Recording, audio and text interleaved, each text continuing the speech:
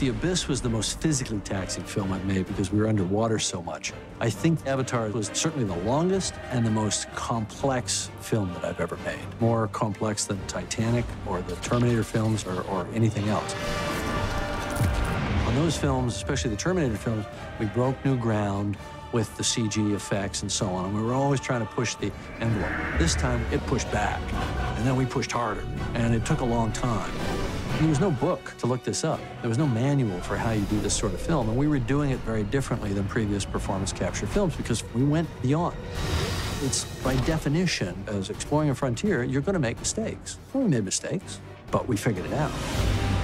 I'm only smart enough to surround myself with enough smart people to solve the problems. And I had a great team because we were way out in the unknown. But that's cool.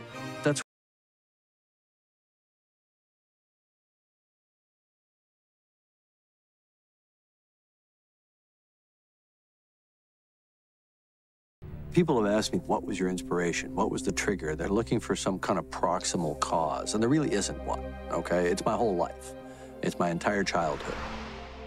I grew up in a town in rural Canada. I spent all my time in the woods. I loved critters, you know. I would catch anything that moved and study it, keep it as a pet, snakes, frogs, amphibians, whatever it was I could get my hands on. So I grew up with this kind of profound sense of wonder about nature. And I was also a science fiction and fantasy fan from the earliest time I can remember. And I was an artist. So my way of processing that was to draw and to paint. And I was painting creatures and painting alien worlds for as far back as I can remember. So my avatar is really the sum total of all that. There was no single moment of inspiration. Now, the thing that got me off my duff to actually sit down and write it, this movie that I'd had in my head for most of my life in some form or other, was that I was the CEO of a big visual effects company.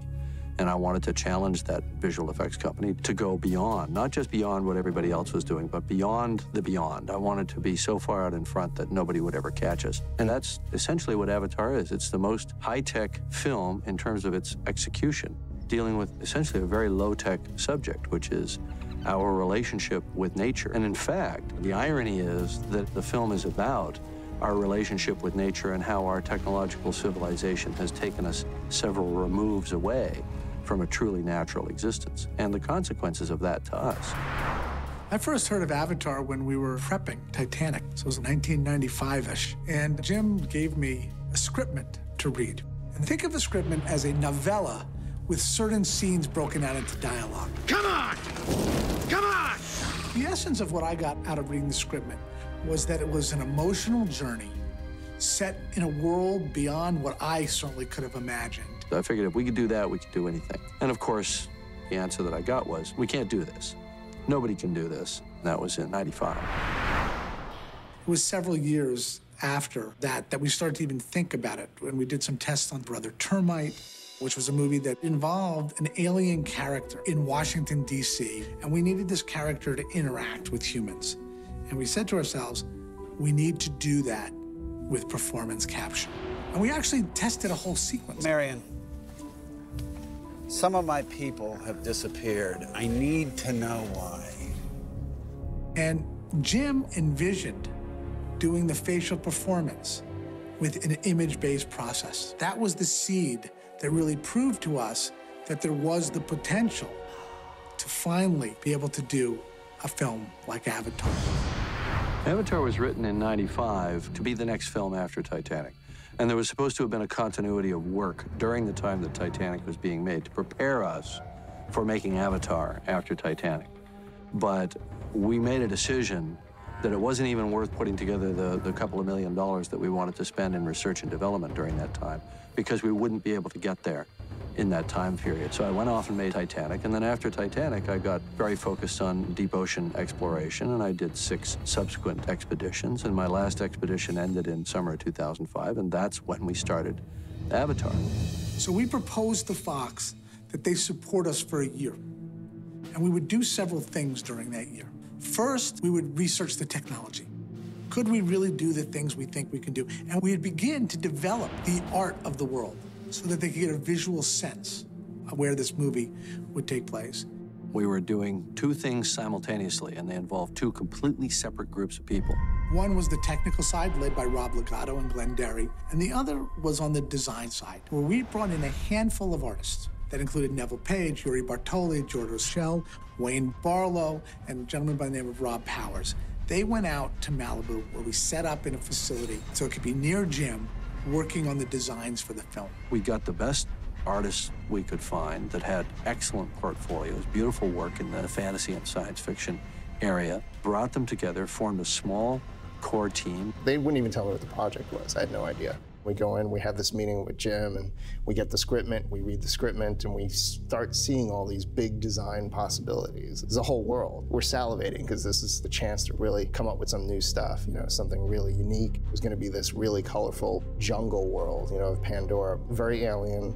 That was one of the big issues at the beginning was how alien do we get? Mostly the, the process is you start out with the big broad strokes. So we would do tons of drawings, just sketch away until Jim sees something that feels like it's getting close. All the time you're trying to predict or get into his head and see what it is that he sees. The Banshee is a great example of a creature that took a long time to create. It took almost two years to get the finished Banshees. What I kept coming back to them with, my question that I always pose to them is, what's the metaphor? What are we trying to say to the audience? What are we communicating with every bone and sinew that we put into this creature? And the answer to the metaphor question with the Banshee is, I want it to be a bird of prey. I want it to be like an eagle, but an alien eagle.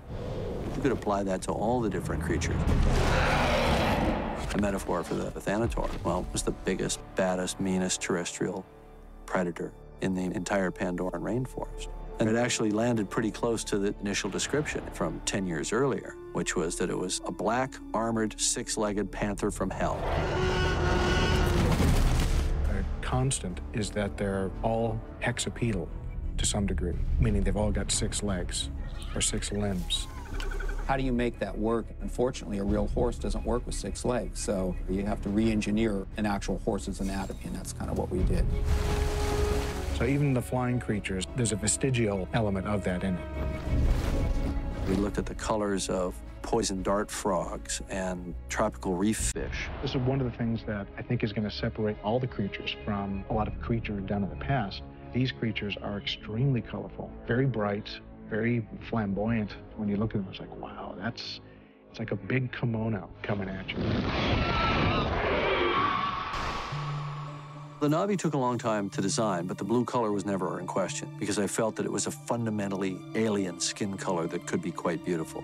But the idea that they incorporated animal-like features, cat's ears and cat tails and a slightly more protrusive muzzle and a kind of a flatter, more feline nose, big eyes, lemur-like eyes. This was all something that we arrived at over the course of designing these characters. We initially started out with kind of more amphibian-like and reptilian kind of forms and alien structures, you know, kind of antennae and things like that. And we kept realizing that it wouldn't work as a love story to see them not be attractive, but they couldn't be human. And then they kept coming back to just blue-skinned humans.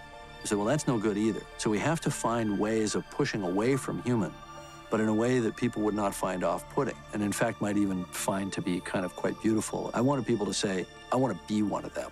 Our art department started out working in flat artwork.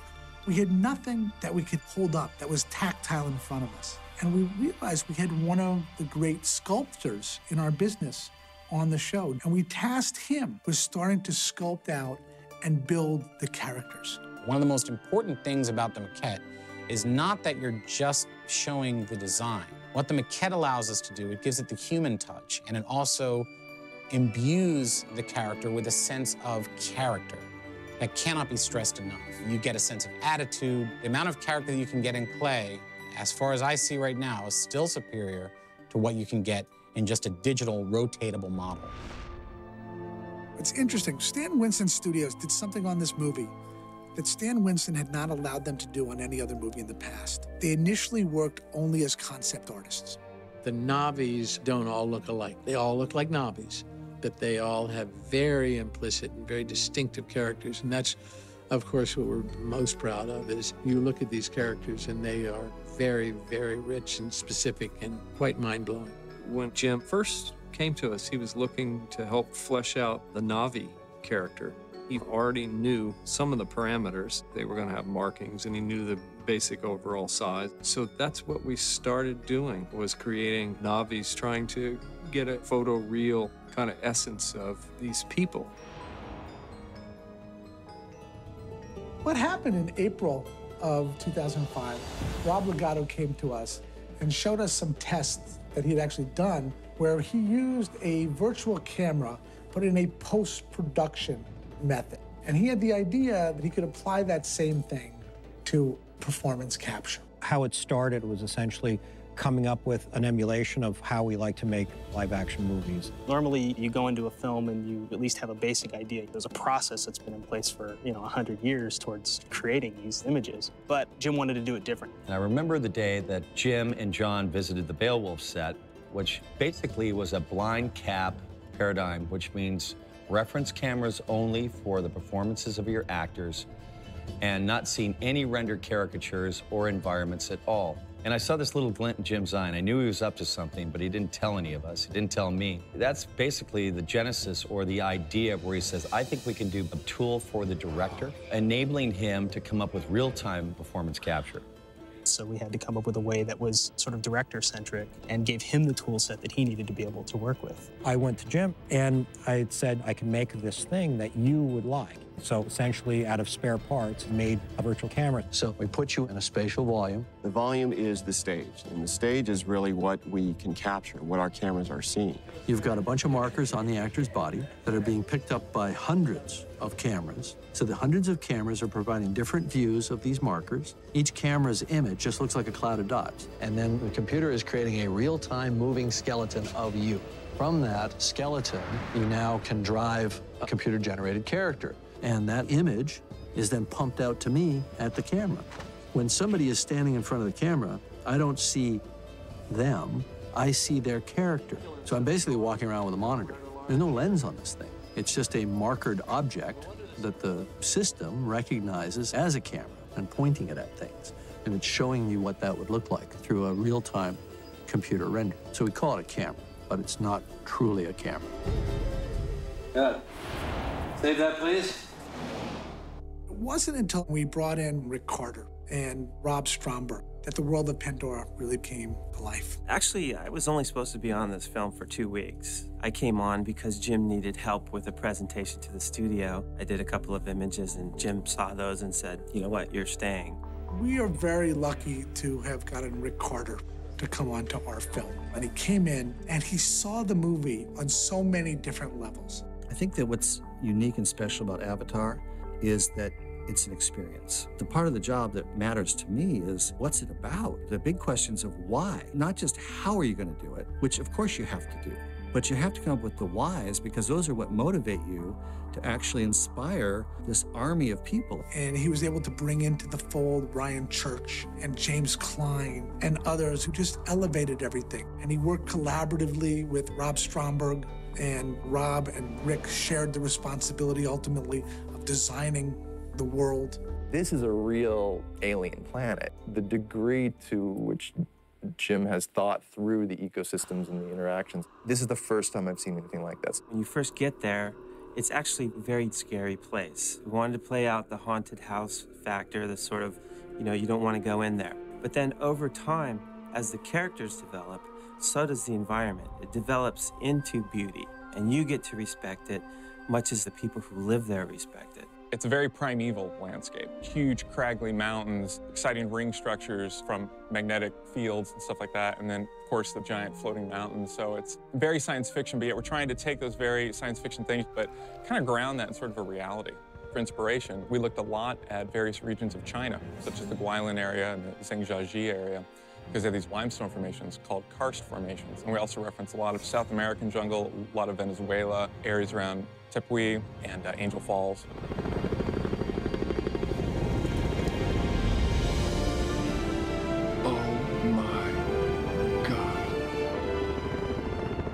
For like the smaller things, such as the alien plants, we would reference a lot of small lichen, small succulents that actually exist on Earth, exotic flowers, and just really play up the scale of those. Jim was really adamant about wanting Pandora to be possible. So his vision was to really have as much real and good science in it as it could be. On Pandora, or anywhere, the environmental factors that would have the most influence on plants would be the light, the solar radiation, which is needed for photosynthesis. So on Pandora, there's a very strong magnetic field and very weak gravity, so plants were able to grow much larger. So gigantism, the large trees, the large plants. That is one big damn tree. By starting out with the designs and the daytime stuff, it was after that that we got into the bioluminescence. The idea that there is fairly low light could conceivably cause plants to evolve bioluminescence. We wanted it to have this kind of dreamlike quality. But the eye needed to be educated through the experience of the film. First, we're going to fly down through clouds. Then we're going to go to this human base. Then we're going to move off that base out into the forest, but we're going to go out there in the daytime. And then we're going to gradually take you into that more and more alien experience of Pandora. And that was by design. We knew we were doing that because we knew that ultimately we were going to wind up in a fully CG rainforest with fully CG characters, and it had to look real. As it's getting dark for the first time in the jungle, Jake lights a torch, and we play the whole scene sort of torch lit so you don't give away the bioluminescence. And there's a moment in the film where Neytiri takes the torch and throws it in a river. It's almost like opening the door to Oz. The torch goes out, and you see the bioluminescence for the first time.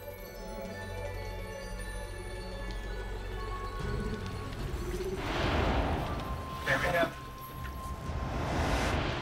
One of the first things we did when we had the system up and running is we shot what we called a prototype. Maybe we were crazy, but we never doubted that it would work. So we cast two actors who were not going to be the final actors, and we shot a short scene. Okay, I, I'm sorry. Whatever I did, I'm sorry. And then ILM finished it for us through to a so-called photoreal level.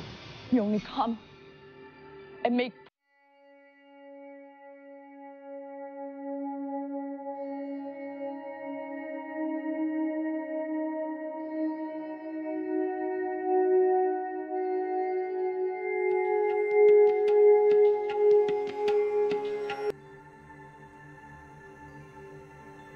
not fear. You strong heart. But stupid, ignorant like child. From that moment, when we saw that little 37-second clip, we knew this would work. It was just a question of how easy it was going to be. Of course, it wasn't easy. How much it was going to cost and how long it was going to take. But we never doubted that it could be done. Weta Digital started with us doing the R&D on the project and was very eager to do the film. John came to New Zealand to talk to us and brought a copy of Jim's original treatment for Avatar. I read it and I just devoured it. It was fantastic. And so we just started talking about it and just, just talking about the ideas that were in the story, the characters, the jungle, the floating mountains, the plants, just the whole world. It just seemed too fantastic to not put it on screen. They'd just come off of Lord of the Rings, they were finishing up King Kong, and they had two firm offers to take very big shows. And they went to the board of directors at Weta, and they made a decision to pass on those money-paying shows and wait for Avatar in the hope that we would get green lit. Are we going to have somebody from your team with us next week while we're doing these scenes? Yeah, I'll be there next Joe's going to be there and... Uh... Can't complain about that. we worked with two different sides of Weta. We worked with Weta Digital, led by Joe Letteri, that was going to do the visual effects on the movie. And we began working with Richard Taylor and his incredible team of artists at Weta Workshop. One of our trademarks at Weta is that we love to design a historical culture, a believable lineage of culture within a world. I felt that this offered us that opportunity. I would suggest the Na'vi culture is a is more aligned to a Pacific culture, and what we've done is we've gone and hired weavers that come from the Pacific, and they're able to put that level of culture in. Regardless of the fact it was set in the future, the people of this world needed to feel that they had lived in the past, they'd been on a journey to this place, and I found that really exciting. We had a discussion, you know, what kind of culture are they? Well, they're Neolithic culture. They can't use metals because they're in these very powerful magnetic fields. So they have to make everything out of bone and crystal and leather and so on. Also woven into it, Jim definitely saw a further layer of adornment that would be suggestive of a culture that existed beyond the moment in the movie. What Jim wanted to portray in the Na'vi people is actually a tribal look that was unique, soft, and beautiful, organic, reflecting the kind of philosophy that the Na'vi people live, which is very utopic and happy. How's that? I'm still breathe. Still breathe? Yeah. We'll, we'll have to be careful if you start to turn blue. I think one of the biggest disservices on this movie, sort of during the award season, if you will, was that the costume design was not recognized. There were actually two costume designers. But when Deb Scott came in, she actually fabricated every single article of clothing that every single virtual character in the movie wore. It's a little bit of a learning experience for everyone to really try to figure out what the place of the costume designer might be. I didn't understand anything to do with computers really or how that process was when I started. So I was completely playing catch up. I was stitching and sewing with a lot of amazing craftspeople who had been working on the project. They were approaching it just like the Na'vi would. Like, how would you weave a chest plate? So it was really like giant jigsaw puzzle, taking some pieces that other people had already built, adding on to new pieces that I had craftspeople who had already been working on the project build for me, and sort of taking on and trying to finish off each character, which ended up being quite a few pieces. The other challenge, of course, is that it can't look like anything you'd ever find on Earth. And that's fantastic. That's just such a cool challenge to start from scratch. What does a knife look like, you know? How do you wear it? All of this stuff informs everything else. It's impossible for a CG artist to imagine how to simulate this stuff if there's no real world reference first. Mo'at's ceremonial gown, what we called her mantle, we had to make that. And it was actually made in a number of different fabrics until we got exactly the right weight that would move the way we wanted it to move. No, I see. The same thing with Tsu'tey's battle fringe. Deb Scott made up all kinds of different fringe of different weights and different lengths and so on. And we tested it. Basically, we did wind tunnel testing and saw what it looked like and imaged it. And then we said, all right, that's the weight, that's the right fringe, that's exactly the right color and length. Now, Weta, you guys have to figure out how to do a simulation and incorporate it into the animation.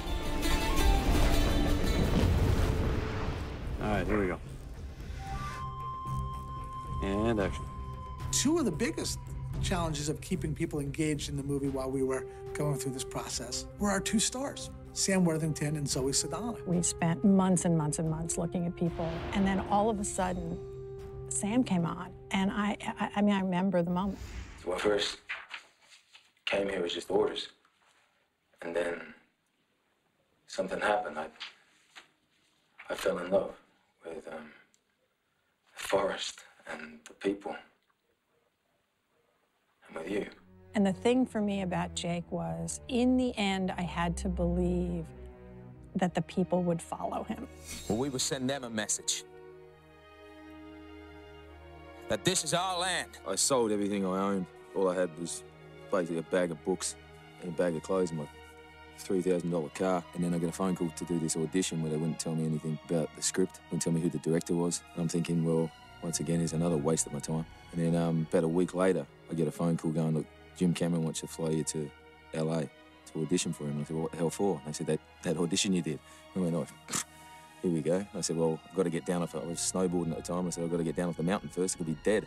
So, uh, well, especially the way I snowboard. All right, got that? All right, here we go. And because I was coming from having nothing to lose, it actually powered me up to actually kind of not be scared. So when you go into the audition and there's the guy who did Aliens and Titanic, and you go, what do you got, mate? Let's go. I think that's the character right there. I wanted him to be young because I wanted him to be a guy who the promise of his life had been taken away by his injury. And Sam was exactly 30 when I met him, I think maybe even 29. But Sam had all the qualities that I was looking for to play Jake. But he talked like this. he was like Crocodile Dundee. we had to work on the accent a little bit. I ain't gonna show that I'm weak to it, unless you want me to. But he did, it, as Sam does with all things. He conquered the accent, he conquered the physicality, and we slapped an experimental head rig on his head and said, now, be the star of this movie. He didn't blink, you know, he just did it. A clean kill. You're ready. Zoe had a combination of delicacy and boldness. There was a fierceness about her and an incredible physicality that was essential to being able to do this. It was unusual, the auditioning process. From Margie to John, and after finally meeting Jim, I was that close, but at the same time, I was that far from getting the part. It was just a fun experience. It's your fault. All your fault. Didn't have to die.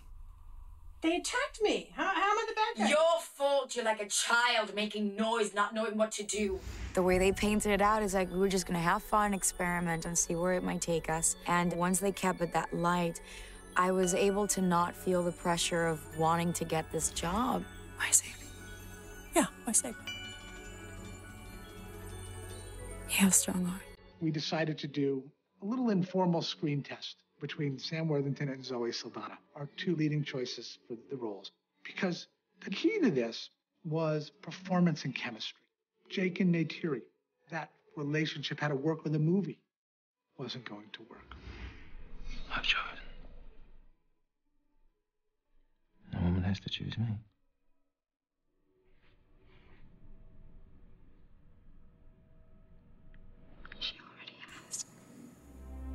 Out of that, again, Jim felt very comfortable in his decisions, but we didn't have a green light on the movie. The studio was also thinking, gee, you really need a star in this movie, you know, for the Sam Worthington character. You know, their eyes get a little bit too big for what they're really ready to embrace. It was a six months process of waiting. You know, I said to Jim, I'll stand by you the whole way. I, you know, I want to be, I want to go on this journey, and, and I need a damn job. So we did an old-fashioned Hollywood screen test with a slightly new twist that it was in 3D. We will send them a message that they cannot take whatever they want, and that this, this is our land. It was after watching those scenes that Fox came on board and realized that Sam was the right one for that part. And in January of 2007, we got the green light.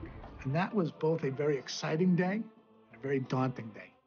Because all of a sudden, we really had to make the film. Outstanding.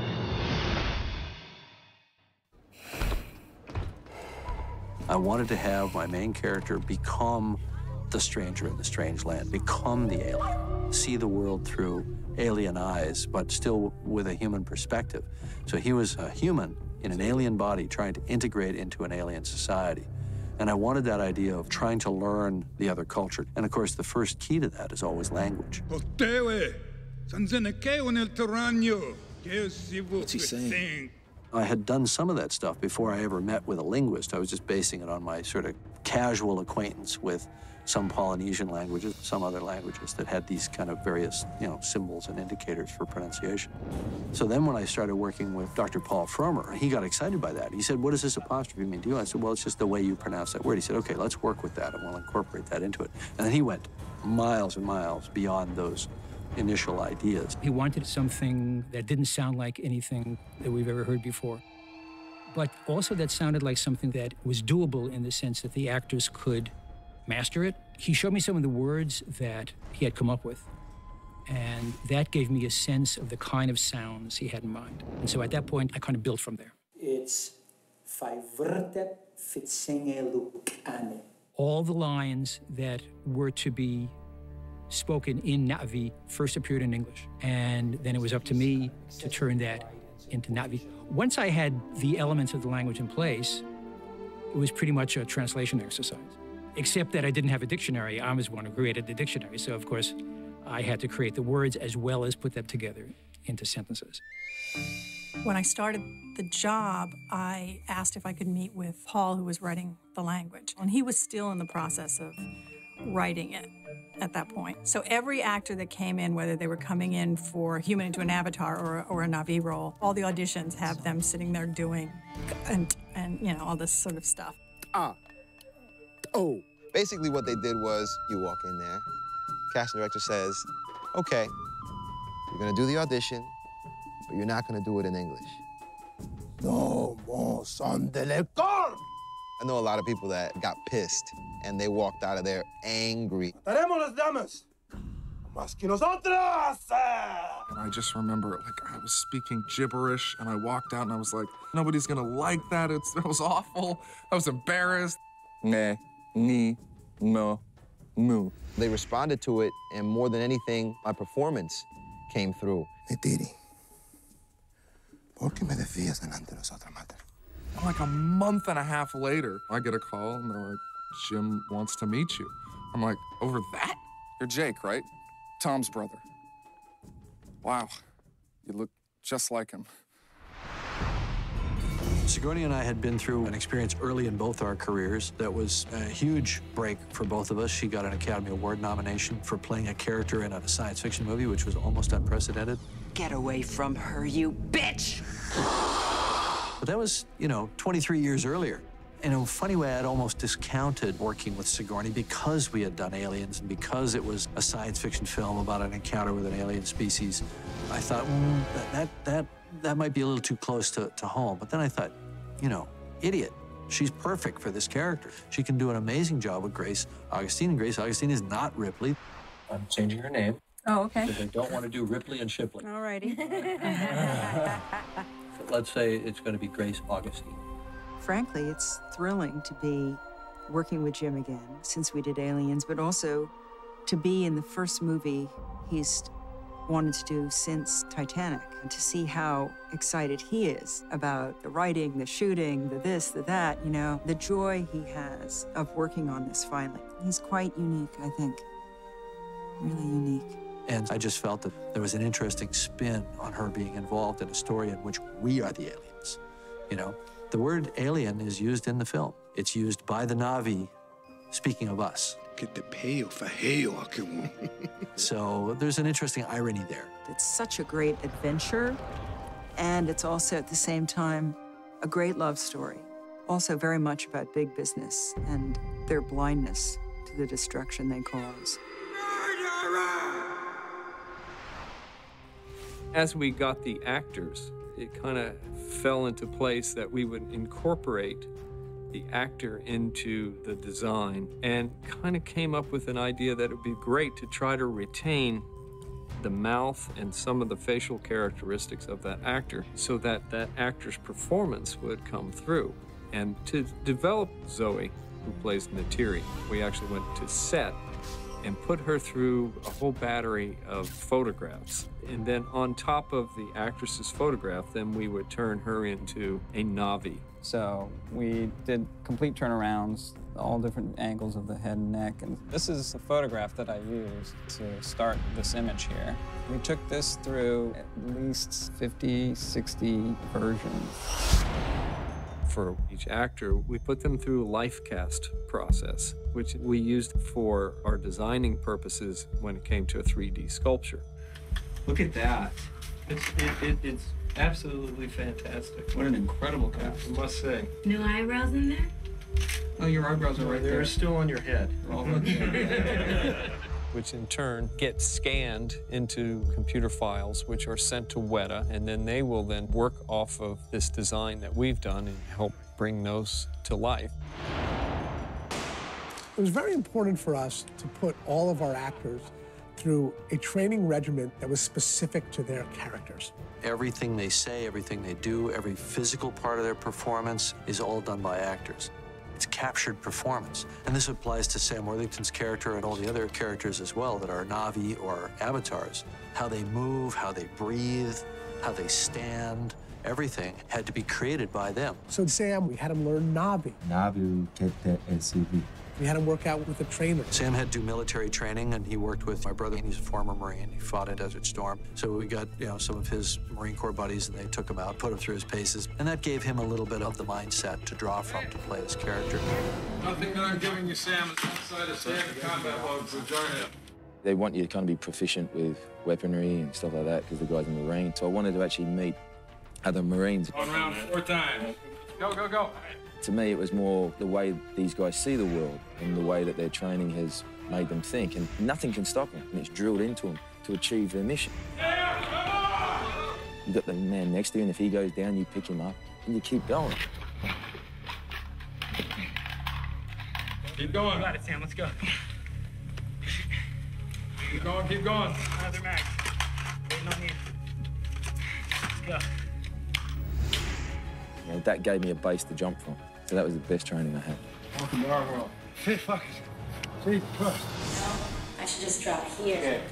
Zoe went through a tremendous amount of training, as did Laz and CCH. She went through horseback training, archery training, movement training, dance training, language training. To say we did a lot of training is, is, is an understatement. We actually had to learn how to walk like a Na'vi. We had to learn how to do everything from our core. They only exhibit speed or power when they absolutely have to until they explode. And when they explode, I mean, they move like the wind. They worked with the movement coach, Terry Notary, and Terry came up with certain ways of moving that involved the way the, the chest and the spine would move to create some kind of animal grace, some power in the step. We work with each actor as a whole and then separate them and work with them as individuals so that they can first create a base technique. So there's some inspiration coming from different sources. It's not an ape or it's not a cheetah. It's a combination of a bunch of things that the character is inspired by. Without Terry Notary, we would have a species that would talk a different language, but would walk human and react as humans do. Terry worked with the complete cast to create a unity of movement and create a believability in this culture that they had grown up together. There's a connection between the people and their environment. This is part of how they get their strength. This is part of how they survive. This is part of them getting energy. We play around with all of that. There were some big dance numbers that got cut out of the movie, but her choreography, her movement that she created is still very much a part of the film. When you see all the ceremonial stuff where they're swaying and rocking around and throwing their arms in the air in, the, in these very precise time signatures, all of that was created by Lula and by her troupe.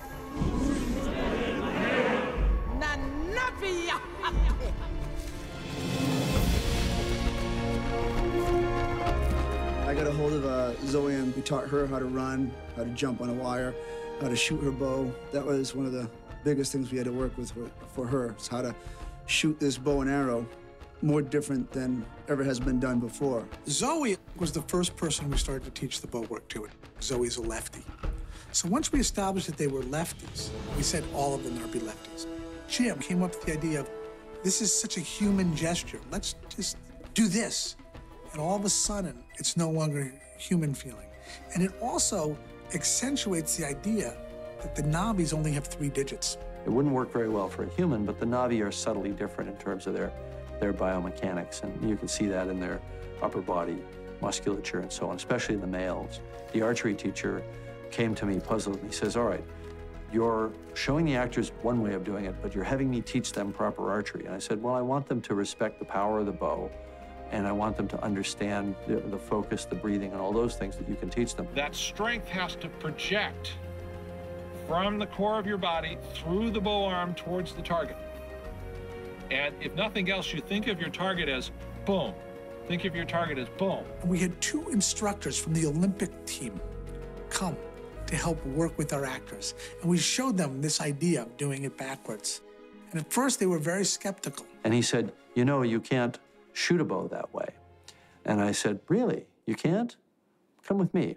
So I got a bow from the prop man and I got an arrow and I walked out behind the studio and I said, You see that bush over there that's, that's about 75 meters away?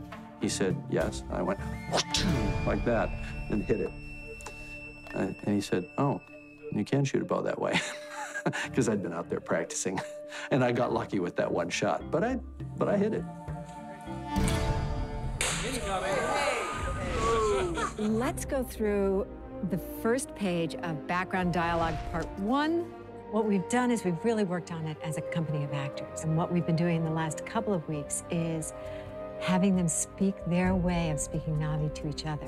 What we've just been doing is to have Zoe and Lance come up and just do a little bit of the dialogue so that Wes can hear what we've established so that rhythmically and so on he can kind of match up and he's doing great. So that we're artificially creating that melting pot. Anurpiven. IOSPS soli ketuon ur. It's part of your costume. It's part of who you become. So you want it to become natural and fluid. I'm lucky because the character's only just learns it over the course of the movie. So if I slip up, it, it helps the character. Naughty. Nari. Naughty. Nari. Paul Frommer had created a language. He wasn't creating an accent. So I basically said, Zoe, you get to establish what Na'vi sounds like and what the Na'vi accent sounds like, because you're the one with the most lines. And then everybody else is just going to have to try to match you as best they can. It's very hard because how do I speak English with an accent? I barely speak English all in itself. The one who interprets the will of Eywa. To me, it's been the most challenging thing is to speak English with a Na'vi accent. I need your help. You should not be here. I knew that we were going to be working in this sterile gray space, this volume. And I didn't want the actors to just sort of come in on the first Monday morning of the shoot and not have any kind of basis for feeling like they were in a rainforest. So we went to Kauai, we went way up in the mountains, and we acted out the scenes. Relax, Maureen. You're making me nervous. And we just did behaviors, but trying to kind of stay in character and talking as if they're, they're characters. Sigourney fed on this a great deal. I know Sam and Zoe got a lot out of it. We didn't know what it was going to be like, and Jim took it further. I thought we were just going to be in our regular clothes, you know, hiking, just to get a physical taste of what it's going to be like to live in a planet and have to rely on anything comfortable. But it was that, but also wearing our costumes. So I was I was naked for three days in Hawaii, up in like the forest, just digging and climbing and muddy and we're videotaping and we're going through the inside of this jungle. You're sleeping on my tail.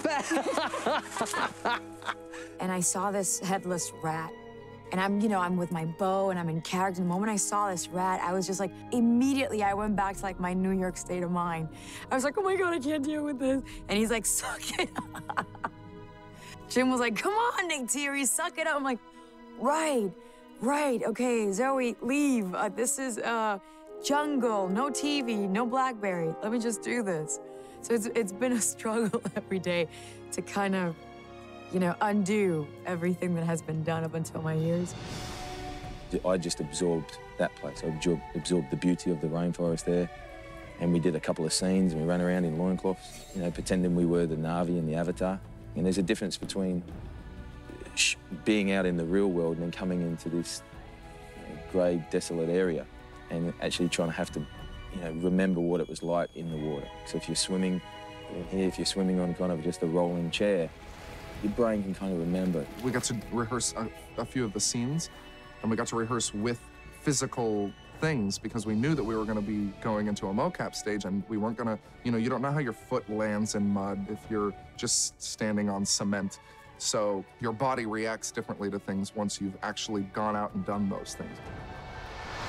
I was shooting them with an HD camera the entire time, just watching how they moved, how they behaved, how the light played on their faces, the light through the trees, if it was sunny, if it was rainy, if it was cloudy.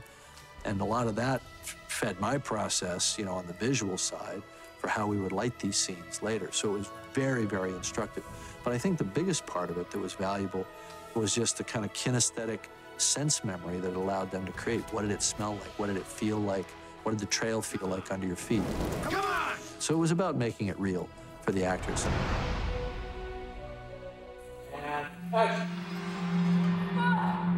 It took us from 2005 to 2007 to get the performance capture system up and running and proven to work in a way that neither diluted nor augmented the actor's performance. And so the actors were convinced going in that what they did on the day that they did a scene was definitive, that that's what their CG character would be seen doing later. Told them, you're not doing a voice part, you're acting your character just as you would if there was a camera there. There just isn't a camera. So you have to think of it as CG makeup. Let's dance.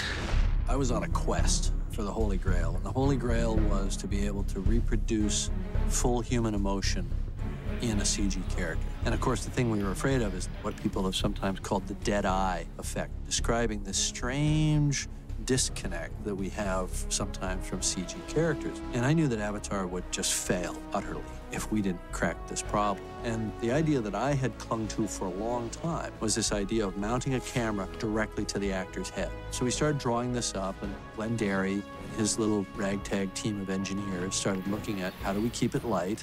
So we wound up with a tight-fitting carbon fiber helmet that was molded to the actor's head. So we've got this very wide angle sort of data lens that's here on their face, but we have to be able to see the entire performance of the talent. So we would shoot reference cameras of the actors. And these are a critical step in the virtual production process. It's important to understand that the reference cameras and the virtual camera are two completely different things. The virtual camera shows us what the shot will look like with the CG characters and the world combined, because we can't see the fine nuances of the performance in the virtual camera. The reference cameras are absolutely critical for getting exactly the moment that we want. You got five takes. They're all going to be good because they're good actors, but there's going to be one take that's special or maybe special for a moment. We need to know that. That's what the reference cameras are for. And then the animators take the reference footage and they use it to make sure that they're not making a mistake.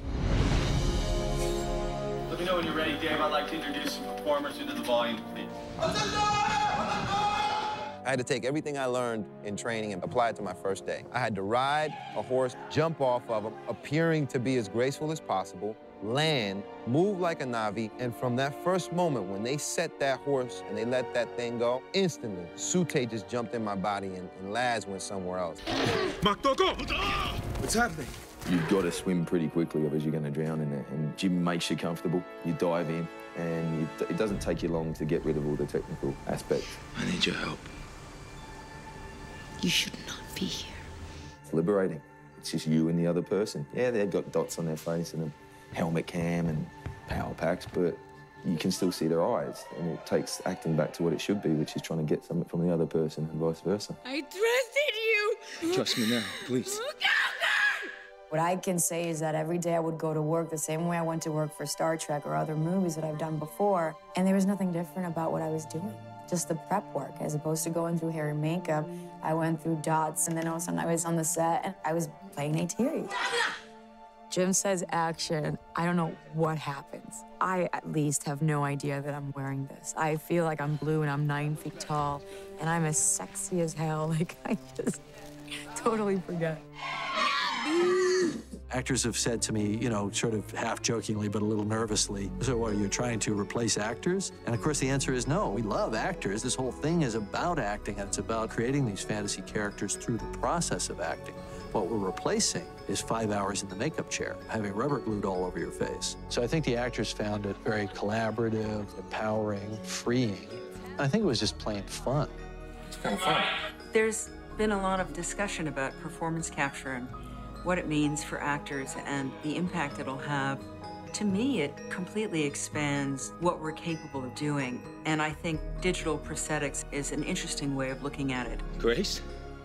Well, who'd you expect, numbnuts? Ultimately, I felt that it totally expanded what the actor could do. I feel like I could play any age character, any species, anything. I could play an alien now. I think it actually kind of gives us wings. And action. We use that sandbox, we use that spatial environment to do everything. It's where we created the sets, it's where we blocked the scenes, it's where we captured the actors, it's where we did all the stunt work. I mean, we had horses galloping around this place. We did everything in the volume. We came up with a number of methodologies for shooting some of these big aerial scenes. Start by, first of all, figuring out what the aerial choreography would be.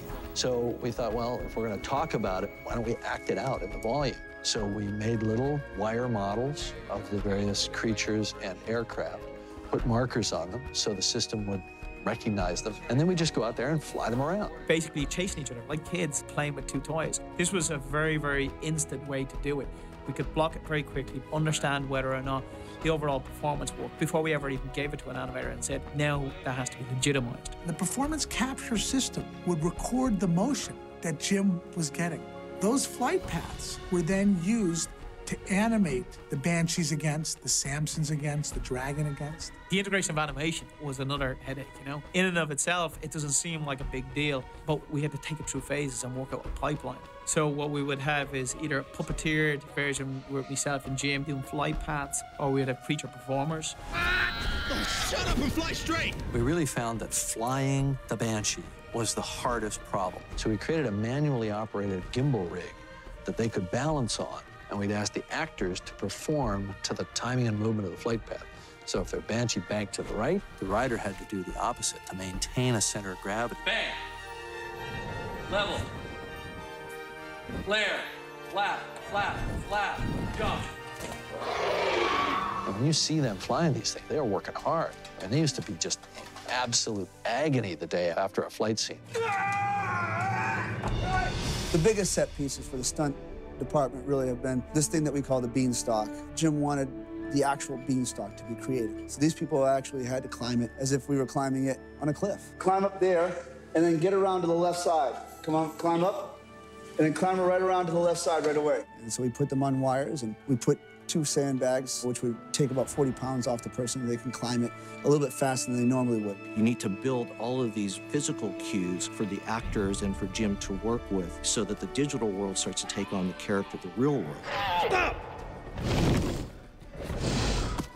That's how you wrestle a banshee. We would have to build layouts, which were the physical interactive set pieces. So that if you saw the Na'vi climbing a mountain, we had to create, let's say, a 20 degree grade. If they were climbing a vine, we drop ropes down and you'd see them climbing a vine. So it was all very interactive. Yet there was no environment there. There was no jungle. And we can be very improvisational because we're not bound by the set. There's nothing on the set. It's a gray set. But the difference is that a big boulder would take an hour and a half with a bulldozer and crew to move it. In our world, it literally takes a second. We select it and move it. And if he says it's too big, we scale it down. Everything in our environments is modular. Okay, bring the camera around. Any plant, any mountain, any exotic alien life form can be completely moved and configured and sized and scaled with a push of a button.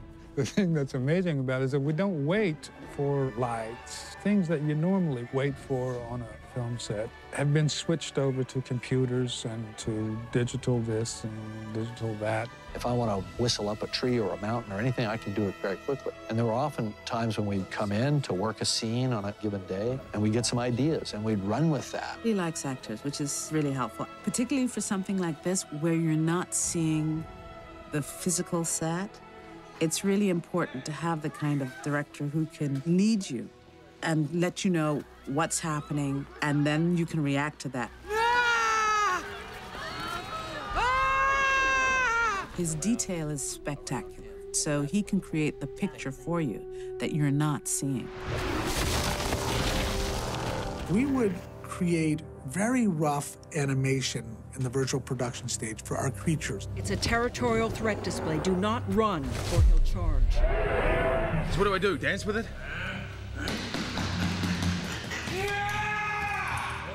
Jim would be there with a pole and going after Sam, and he'd be representing the hammerhead.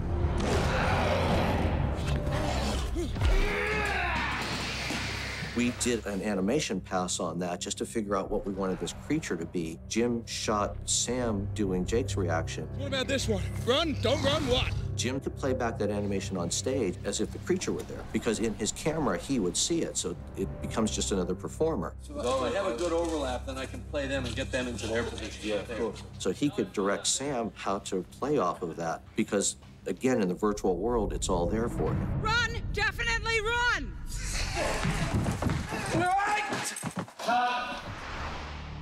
We thought we learned everything in the first year of research and development because we had done a test and based all of our reasoning on a scene with only two people in it. We hadn't done a scene with 10 people or 100 people in it, and those represented more difficulties in virtual production. If we got past five characters, it would create a problem just capturing the motion. Never mind getting them to run with fully fledged sets and lighting. We just hit a ceiling, man. We taxed the hardware to the max and the software at that point was untested. It was not built for what we were trying to do. So every time we pushed, it crashed. No save. No save. Let's go again, please. Here's an example of a scene that almost broke the system.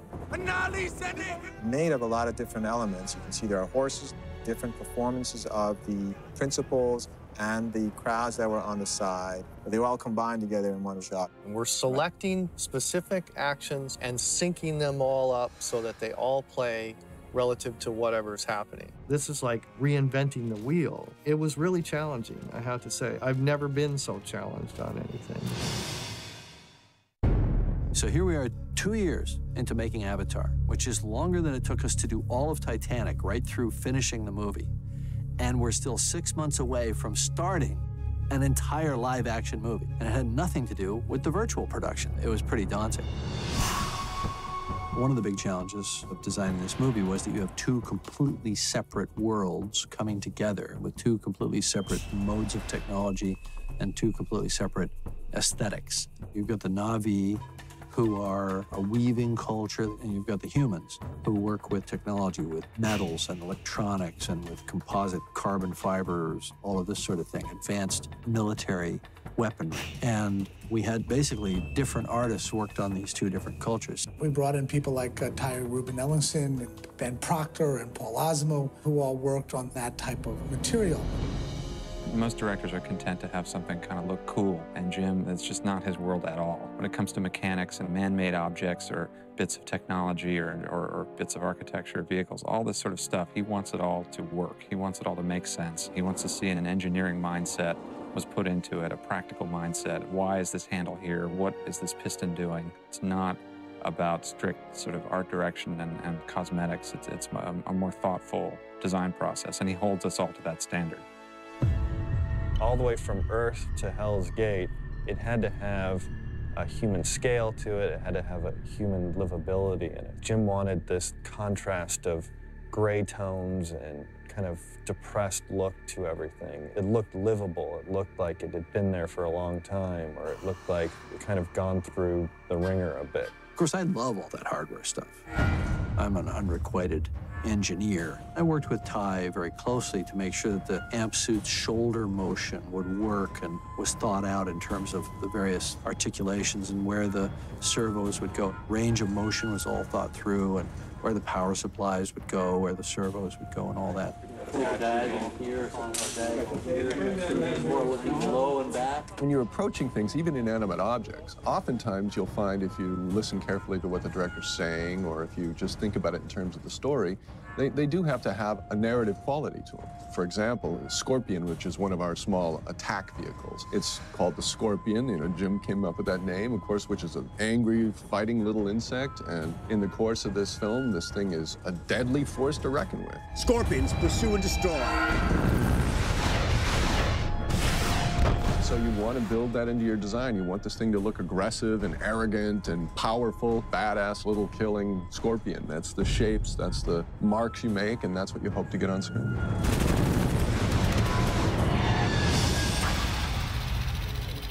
Once the creative part of designing the movie is done, you then settle down to the hard work of getting it all made, and we were able to ultimately tackle a lot of different items from the, the weaponry, the guns, but also the art department sending out many of their designs they'd already finished, such as the link units, the amnio tanks, for us to start building on. I'm the point person between the art department in LA, run by Rick Carter, and the physical art department of New Zealand. We spent about three months doing research and building little models and figuring out how to build the sets. Getting a construction plan and process based on what information, because this was fast tracked and that they were still designing the sets in LA that we would be building in New Zealand. So we would take every little morsel, every scrap of information we got and run with it. In our original production plan, we were going to have a number of weeks where Jim was going to be able to get down to New Zealand and treat it like a normal show. And all of a sudden, because of schedule changes and the need to edit, the need to turn over to Weta, that window that Jim was going to be in New Zealand before we started filming shrunk. He was only going to be down there for about six days. But we realized we had built a set of tools that could be helpful in this. And we took the virtual production and applied it to our live action sets. We'd location scout. Just like you'd get in your car and drive out to a location and scout it with a viewfinder, I'd walk into the volume and I'd scout it with the virtual camera. And Jim was able to rehearse in these virtual environments and made adjustments to the sets down in New Zealand without Jim ever going there. I'm wondering if we should just sort of slide this part of the set around. We've got roughly 25 sets worked out. We've got something like 40,000 square feet of floor area, plus the rainforest, another 10,000 square feet. So they're quite big numbers. The crew of 140, you know, it's not a particularly big crew, but this is not the sort of show that you could just throw a lot of people at and say, here, finish that. They're just so technically demanding. This is really nice. Remember that sentry gun we had? Sure do. Here it is. You can go shoulder, or you can split it and go uh, two hands. We built all of Hell's Gate that you saw in the interior, from the op center to the commissary where Quaritch makes his first speech to the jail cell that they break out of. We built the two shacks where they do the research, and we built the Samson itself. We had to build the link room and the links themselves, and, and these things had to work. From Jim on down, you feel like in every department we're, we're working with people who exist at the pinnacle of their craft. And the attention to detail and the demand for excellence on all levels, I think, is just mind boggling. It's almost like there are two different films being made as there are sort of two different worlds. There's the world of the Na'vi and Pandora, and then there's the humans and stuff that's not necessarily CGI as much. And so it was kind of new for everybody. You know, wearing a Velcro wetsuit and everything built so detailed that it kind of makes your job a lot easier than even being in the mocap world. It feels like a different movie because we've got a whole different cast, to be honest with you. You got Stephen Lang and Giovanni and uh, Dileep, and then you got Michelle as well. Stephen Lang had respect for ideas of duty and courage and things like that. And he understood how he could channel that into a character that's basically a villain. But he's this very pure creature. And he came in for an audition and he knocked it out of the park. He was just riveting. It's my job to keep you alive. I will not succeed. Not with all of you. He said, Do you remember when we met? And I said, I sure do. And we'd only met once before, and it's about 20 years ago. It was for Aliens. And he remembered the audition very well. And I find that kind of wonderful that you can audition for something and then 20 years later you get the part, you know? I think it's great. There is time to salvage the situation. Park Shut diplomat- your pie hole. Or what? Ranger Rick, you gonna shoot me? I can do that.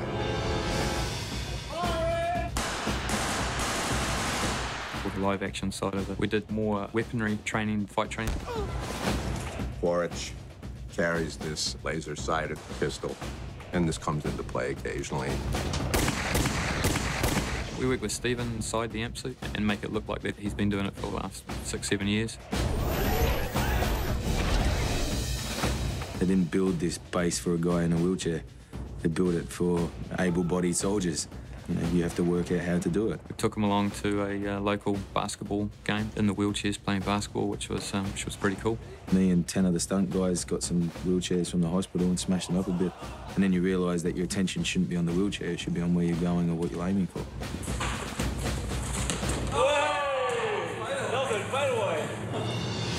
This right here is the Samson. Michelle, she wanted to learn to fly that helicopter, that rotorcraft in the movie as if it were real. So I gave her to a friend of mine who's a helicopter pilot to take her out and show her how to fly a helicopter. And she learned how to fly a helicopter. You're gonna look like you know what you're doing, but you have to reach up and fire your guns, whatever you're gonna do. I got a couple of really exciting hours in LA flying a helicopter uh, with Kevin, who actually taught James how to fly helicopters.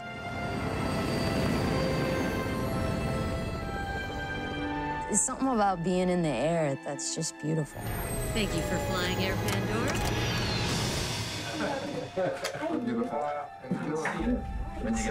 Welcome to sunny New Zealand. You got it. We never really felt like we had this first day, except when we went down to New Zealand, because that was a truly new break for us. I can just have everybody's attention for a second. This is kind of a pinch me moment, and we're actually getting to make this movie. It's a dream project. You know, this script, the first draft of it was written 12 years ago, and we didn't start on the film then because, frankly, the visual effects guys told me I was mad to even try. We had high expectations coming into this that we were going to see something exceptional, and I would have to say that our expectations have been not only met but exceeded by the workmanship, the dedication, the professionalism. And I just wanted to take this opportunity to thank everybody for what it's taken to get to this moment. Now, we obviously have hurdles ahead. There's no such thing as an easy shoot. I think, you know, when, when people wrap on time, it's because they ran out of ideas. Um, so, don't count on that. Here we go. And action. Dr. Augustine, you can't be up here. That's false. The thing that's hardest to understand about all this is we actually created two completely separate camera systems that had completely different jobs. One was our virtual camera system to capture actors and shoot them virtually in a virtual environment. The other one was the Fusion camera system, which was for shooting live action actors and sets in 3D. Okay, that's a cut. I fell in love with 3D when I made my first 3D film, which was in 95. And that was T2 3D. The logistics and the technology required were enormous. The cameras were the size of refrigerators. This didn't seem to be practical.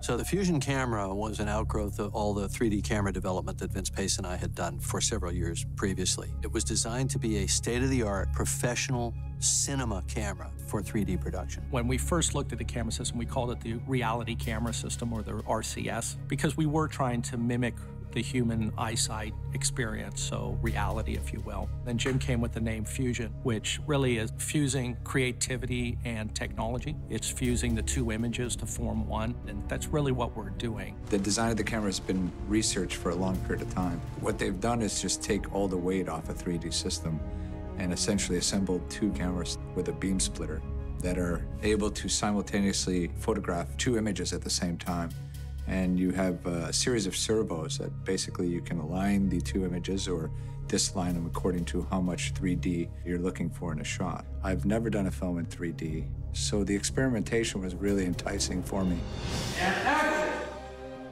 Technology for the 3D, it takes a little getting used to because it's like there's two cameras and they have to just check the IO every once in a while. And it's not that different, but just a little bit different. And you learn quickly, like, it's a technical marvel. Like, the fact that the cameras will photograph the same exact thing the same exact way, what your eyes do naturally.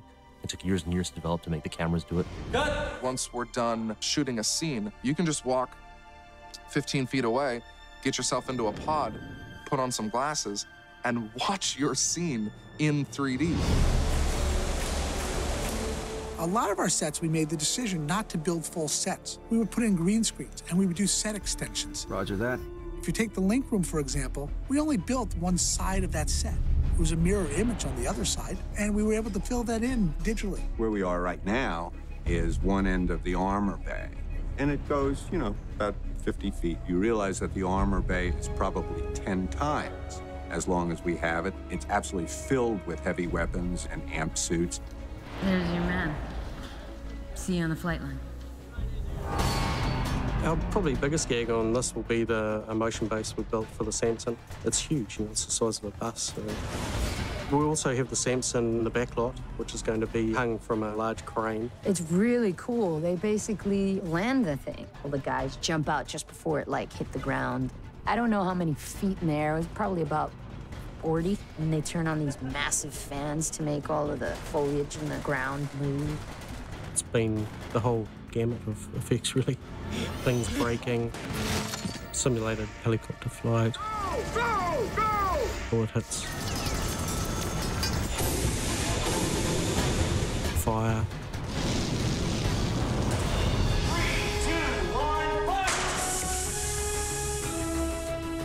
Garrett sent me down his stunt breakdown, different gags that were related to those scenes. Door gunners are getting pulled out of Samson choppers by banshees. Also, some stuff that happens in the Dragon.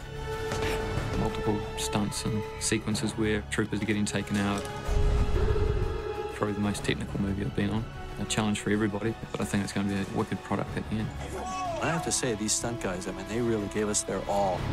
There's such a great spirit there in New Zealand. The energy they bring, the excitement.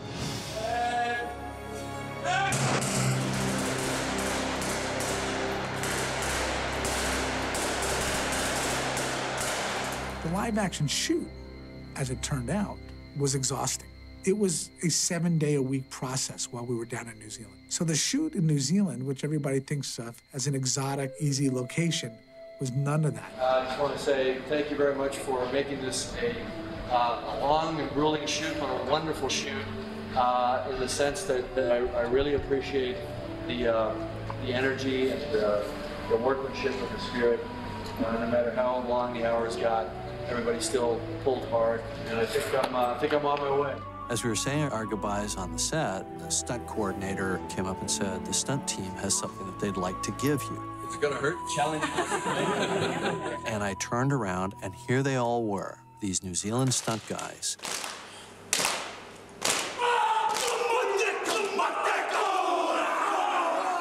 Some were Maori, some were not Maori, but they were all New Zealanders, and they had all worked on this haka. Apparently, what this haka uh, does, if translated, is it challenges you to continue to do your best. And that was their way of thanking me.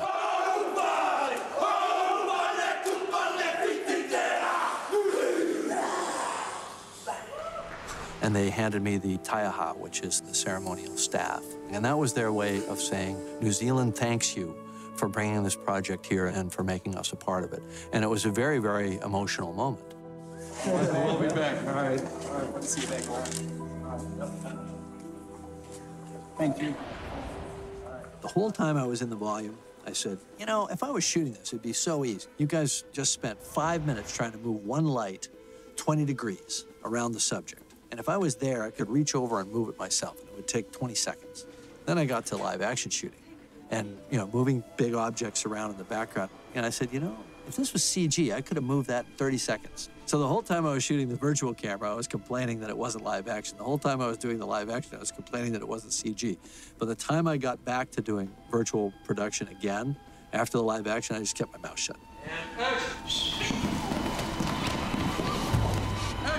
What I realized is that they're both hard and they're completely different. So you have to have a good team that knows one discipline and a good team that knows the other discipline. After the live action filming was completed, most movies are done. We still had a tremendous amount of scenes that we had captured performances on that we had not yet done camera on. These would play back on the stage with Jim and the virtual camera. Hey. Yeah, please. So now the actors are gone, and he's out there with this virtual camera playing back their performances from sometimes months before. Let's do a take. And playback. When he looked through the lens of the virtual camera, it was as if those actors were there giving him the performances live. Yeah. Beautiful thing. He would now go and create the actual shots that became the movie. Action. So after all the frenzy and activity of a live action shoot, Lifting. and it's just me with the virtual camera out on a big empty stage for a year. It was a year of this, shooting these cameras. Cut. Say that, please. Now you've actually got sort of dailies for the first time, actual shots to cut with. Now you edit the scene, get that the way you want. And then that edited cut is what goes to Weta for them to finish. We called that the template. We would see kind of where he put his light, where the compositional elements were, how the art direction was laid out. Basically, Jim handed that over to us as a master guide for what he wanted the shots and the scenes to look like. Weta is only building what we're sending them instead of building out shots and instead of you know, going through these massive amounts of iterations with lighting tests and all these other things, we're giving them something that's much more concise to the point. This is the length of the shot, here's the motion, and here's the camera. And we just followed that, and we would start replacing that with all the high resolution elements. Weta uh, were able to field a team of some of the best animators in the world.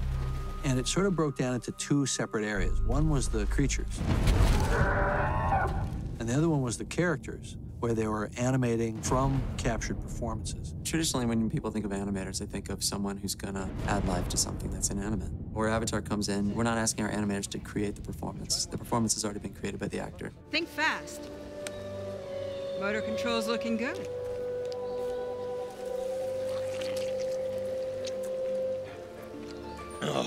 The animator's job is to analyze performance, analyze every detail of it, and make sure it's coming across. It was very important for us to make sure that whatever Zoe did, whatever Sam did, actually came through their avatars onto the screen and played as convincingly as when they were on the stage. You take a character like Neytiri, and the idea is that the audience just has to fall in love with this character. When she smiles, there has to be a connection between her smile and the audience. It really is a collaboration. It's working with the actors and then working with the animators to bring the character to the screen. I see you. I see you. We have to figure out how to maintain that integrity, maintain that performance, so that the characters you see on the screen are really what the performance was intended to be.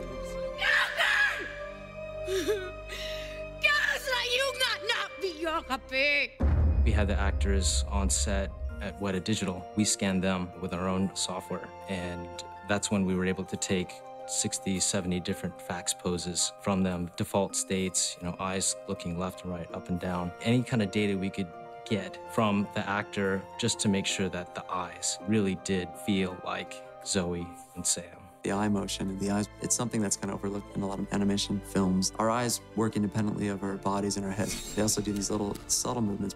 That was another thing we looked for with the reference. It's one of the reasons why the eye came to life in Avatar. We studied all those details and we made sure they were in there. We made sure that Neytiri's eyes were locked on Jake when she was arguing with him. What are you saying, Jake? You knew this would happen? Yes. But the real trick to it was figuring out what they call the rig. And the rig is how they program the facial muscles to work. And we all have the same facial muscles, but they're in different proportions, and the way in which they fire, meaning how your brain controls your face, is different for every person. And this took months and months for each character, and it had to be done individually for each character. I will stand and fight. The reference cameras play an integral part in how we evaluate, study the detail within each performance. As good as our facial capture system is, if we really wanted to just see the subtleties on somebody's face, there's nothing better than just seeing a close-up, high-def video of that. They Within Awa. The stress with the animators was to actually animate to the reference camera, and then we'd make sure the performance looks the same, or all the details are in there. Navia. Luyo. And then we go back to the actual shot camera and see if there's anything lost. Usually you had gained a lot by doing that.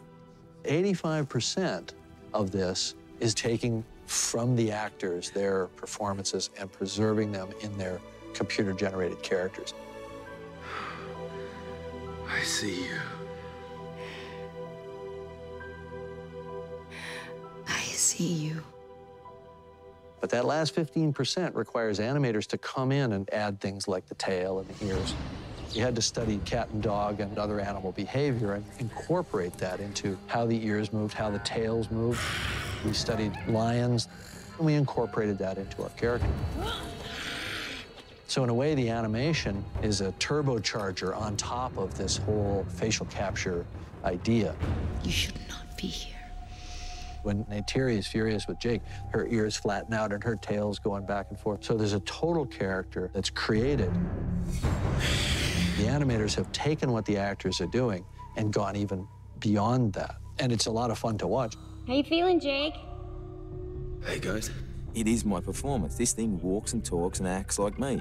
And it's my interpretation. Even though I'm big, nine foot tall and blue, it's got my personality. It's got my soul. By the numbers. Jake! Jake! Listen to me. You're not used to your avatar body. This is dangerous. This is great. Zoe really enjoys watching the footage of her as Neytiri, because Neytiri is this creature that's of her, created by her, but it's apart from her as well. She looked so sexy.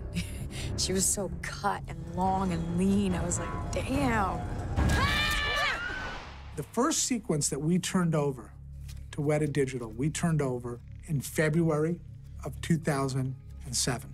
We did not get it back until May of 2008. Those first shots that I finaled, which was the scene where we first see Neytiri and she draws the bow and the wood sprite comes down and lands, they were so gorgeous that all of a sudden it was this moment of, holy crap, that looks real. She looks completely real. And then we just sit there and go, hey, look at that. Finaling those first 10 or 11 shots in that scene was absolutely critical. That's the moment where we knew this movie was going to work. We didn't know yet if we could get all the other 2,600 shots done, but we knew we could make a real character.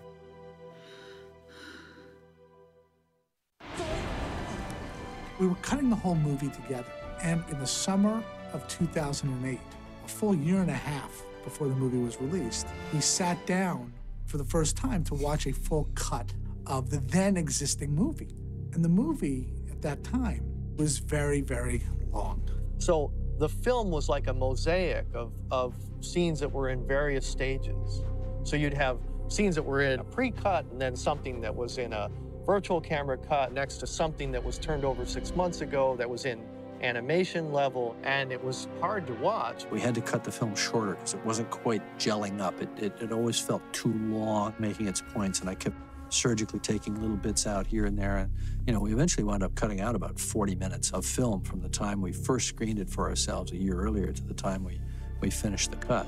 There was a point where We had been hoping to just be able to handle the whole film ourselves. But Jim handed us a cut that was about 45 minutes longer than the one that got released. And it still had a lot of character work in it. We said, okay, if we focus only on this character work, that's more work than we thought we were going to be doing, and it's too late for us to gear up to do the other work. We made the decision to pull work uh, in late 2008, but we didn't get the approval to do it until spring of 2009. So these shots were just lying in wait, the work building up, Jim stressing out about it. Yeah, okay, so you, so you still have some tech work to do on, on contact, shadows, and reflection? And it was a nail biter. The whole movie was a nail biter in terms of getting things done, because we were always missing these deadlines that we kind of made up out of nowhere. Let's do this by this date. Because we sort of knew if we didn't do that by that date, we wouldn't get this done over here. ILM took the most number of shots and the, and the most complicated shots, and their shots had to seamlessly fit in with Weta's work in the end battle. Other sequences were standalone sequences, where we would get companies like Hydraulx, Framestore, or Hybrid, and the other visual effects vendors, a complete sequence that they would deliver to us. Because of the way this film was done and, and how long it took to finish shots, we were in a constant state of deadline for, I think, a year and a half to two years. Fire. Three, three, two, one, action. Basically, for the last part, we were kind of in a marathon run. We couldn't back off the throttle. And we actually went back and shot a little more live action again later after our last capture. So it sort of went capture, live action, a lot of capture, little tiny bit of live action at the end.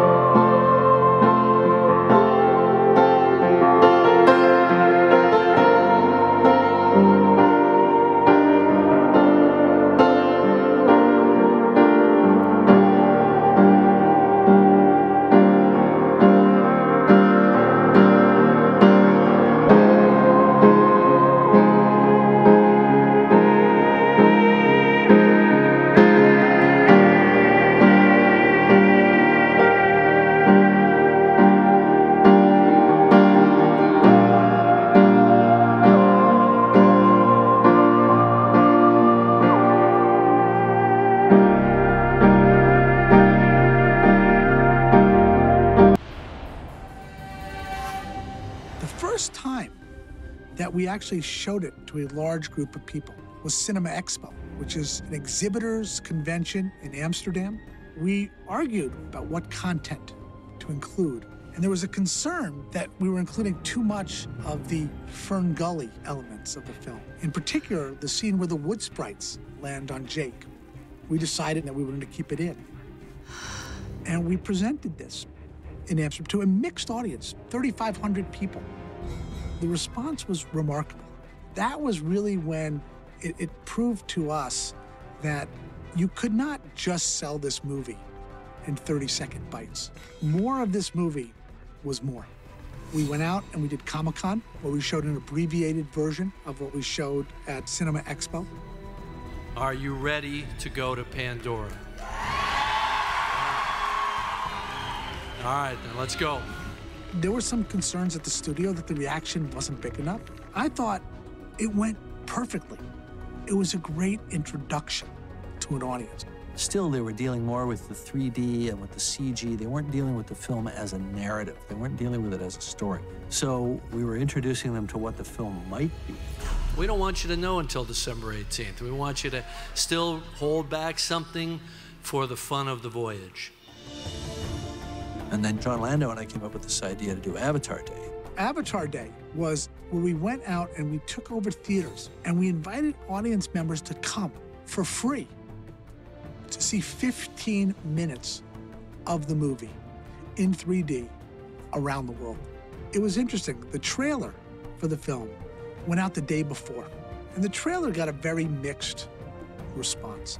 There was this sense of what's all the fuss about? This looks like, you know, Smurfs or Thundercats or whatever. And pretty soon they're ripping us a new one on the internet, 7,500 comments long about how bad this movie is and how it's doomed to fail.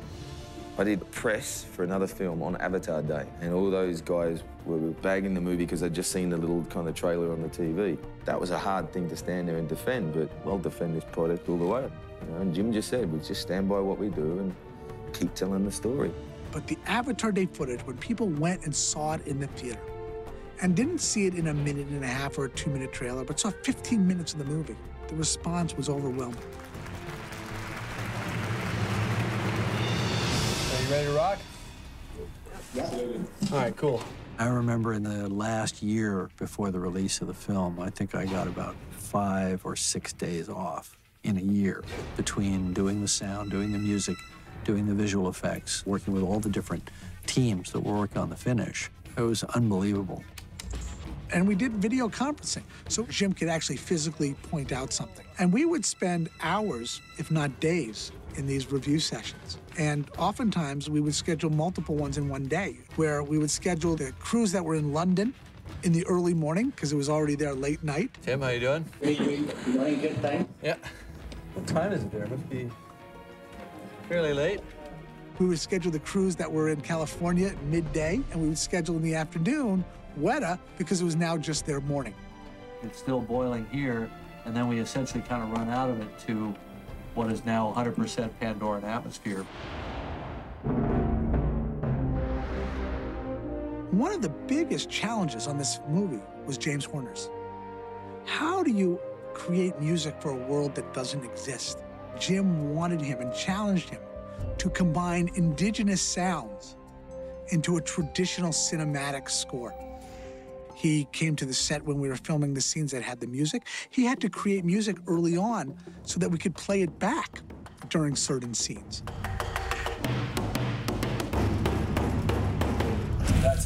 The first thing James did on this film was bring in an ethnomusicologist and start collecting sounds, vocal sounds, and various different instruments from around the world. Initially, the music was a lot more ethnically based.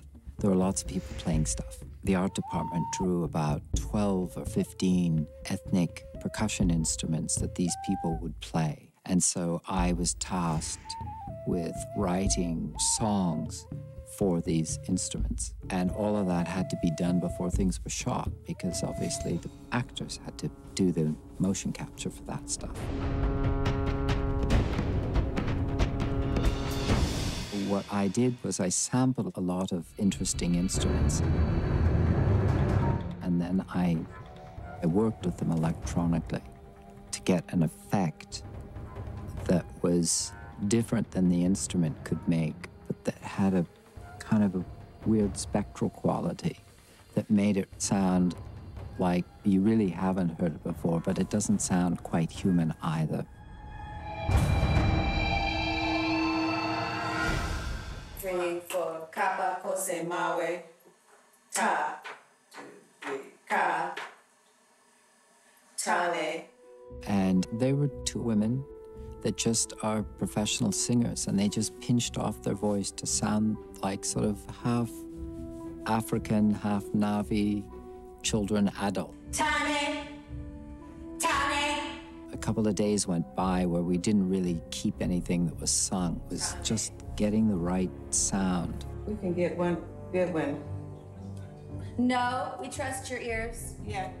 Paul Frommer was the guy who invented the language, and I asked him to write me syllables and consonants that I could use when my people were singing.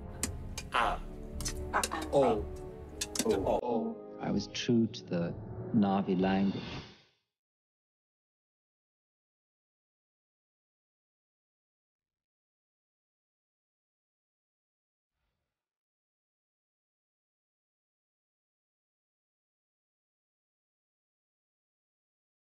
Think it's a- an amazing score. And because it has all this textual richness from all these ethnic instruments, he would segue between stuff that sounded very tribal into very orchestral sections of the score. But I, I thought the transition between the two was seamless.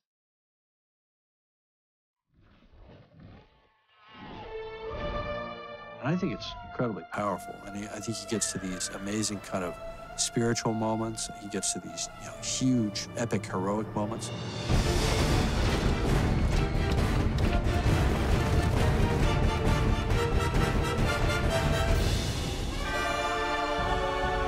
Which, by the way, there are a number of composers who can do that epic, heroic thing.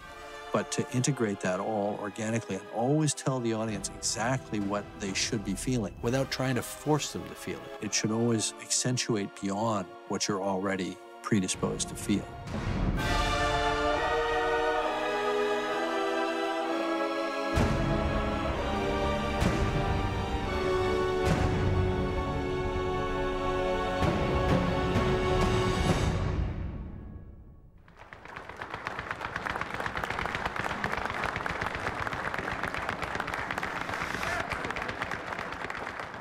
movies aren't made by one person, they're made by a big group of people. And, you know, there's got to be one, you know, idiot that kind of charges out front and says, come on, guys, let's go. But then after that, you're putting up on the screen as a result of a team, and in this case, we're going to put a, a movie out there that's going to look, look amazing no matter, you know, what version you, you, you see it in. But we can know in our hearts that we made a great film. So I think you guys should give up, give up a, a little round of applause for yourselves. Jim said that we would solve our last problem on the last day we delivered the movie. And that held true. Jim looks at every phase of production and says, at a certain point, this is going to go out of our hands. So, what we envisioned doing was basically customizing the release so that every viewer in every theater got the best possible experience. There's a lot of vagaries when it comes to public exhibition.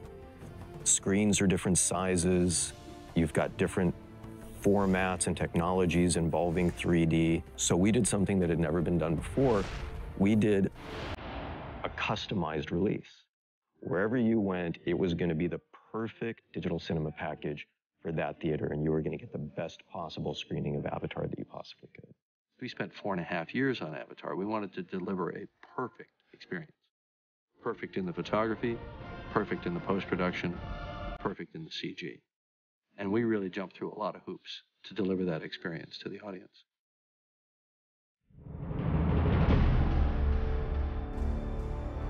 Just to put the glasses on and start that movie and be taken right into space and right to Pandora, it was so visceral. It was so exciting. And I'd never been taken literally, it felt, to another world. I wasn't prepared for, first of all, how powerful the emotional story was and how subliminal the effects were. It was seamless. And I just forgot all the work that had gone into it and was just transported.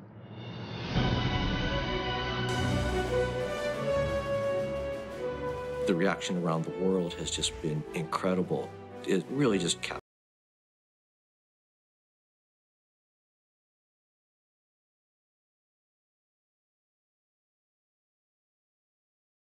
films take on the military or corporate America. And I thought, well, that's fine. Those comments are there in the film for a reason. So if it provokes a reaction, that's great. That's what it's supposed to do. I think we're living in a day and age now where we realize what we're doing to this planet. It's right in the forefront of a lot of people's minds. You young people are going to have to accept this responsibility. It's your lives. This movie's basically saying, let's just stop for a minute and take a damn look at what we're doing to this world. It seems quite simple. By doing something, you can make a change. It just comes down to your choices in life. It seems like the Na'vi have discovered that, how to live with one with their planet and live with one with all their insecurities. That to me is the message of the movie.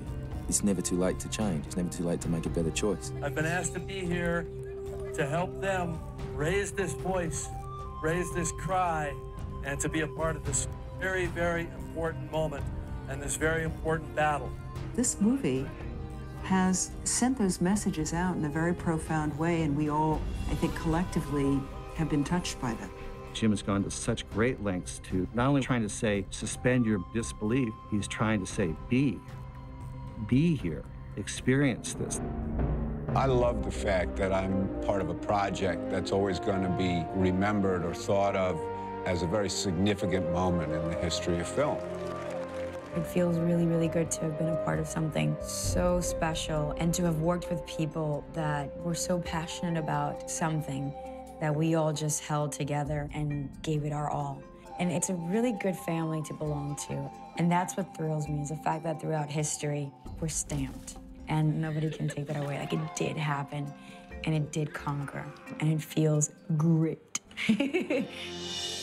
Whatever one thinks of the movie, I know what we accomplished in solving these technical challenges. I know that we were able to take from the actors their beautiful, amazing performances and preserve them in their computer-generated characters. And that was my biggest goal. See the world we come from. There's no green there. They killed their mother. And they're gonna do the same here. The question remains, how much does a piece of entertainment, a movie, actually change the way people act? One can hope that people feel that little twinge of conscience, that little sense of responsibility. It can only be a movement in the right direction. I just don't want to feel that I'm going through this process of making these movies just entertaining people and it has no higher purpose. I'll settle for a small change. I see you.